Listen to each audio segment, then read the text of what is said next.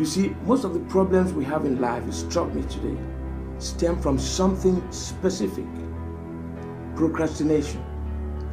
You know, most of us put off everything that we need to do for the next day, for the next week, for the next month. But I'm here this morning to remind you, my friends, that nothing can happen without prompt action. Right now, this very minute, there's something you know you've got to do.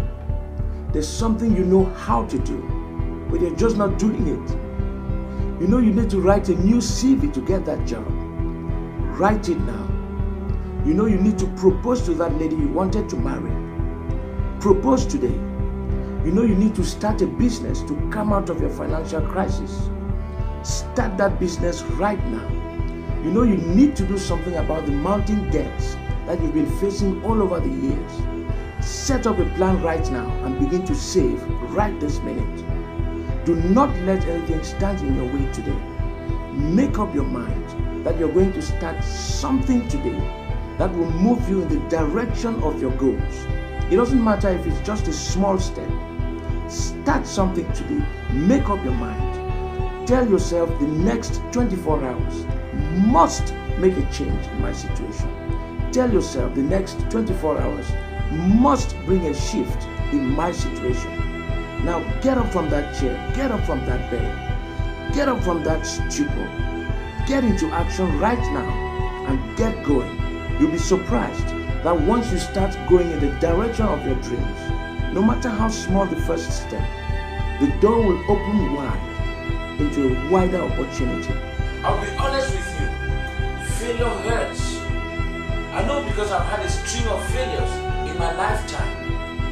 I have failed a major exam before. I have failed in business. I have failed in friendships. Name it, and I've failed in it. I have failed in so many things that sometimes I think I've got more failures than successes. So I know how you feel at the moment. You feel like you're not good enough. You feel like you've let yourself down, like you've let everybody down. Certain though, you cannot give up and surrender. It will be to undermine your intelligence, to mock your own great abilities which you already have. This failure may hurt, but it is only temporary depending on how you look at it. The great Bill Gates once said, It's fine to celebrate success, but it's more important to heed the lessons of failure. Wonder Boy Tony Robbins says, I've come to believe that my past failure and frustration were actually laying the foundation for the understanding that have created the new level of living I now enjoy. Michael Jordan said, I can accept failure. Everyone fails at some point, but I can't accept not trying. Do not let this temporary failure put you down. Do not surrender at the door of victory. Do not let this moment taint your bright future. Dust yourself up and start over again, and you will soon see why the universe allowed this failure in your life.